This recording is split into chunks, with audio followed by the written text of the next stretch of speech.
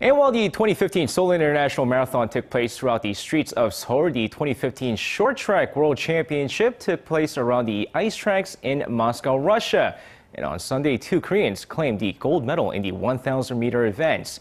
Now, first off, over on the men's side, Park Sei-young would finish off the men's 1,000 meter event with a final time of 1 minute 25.115 seconds to claim the top podium spot.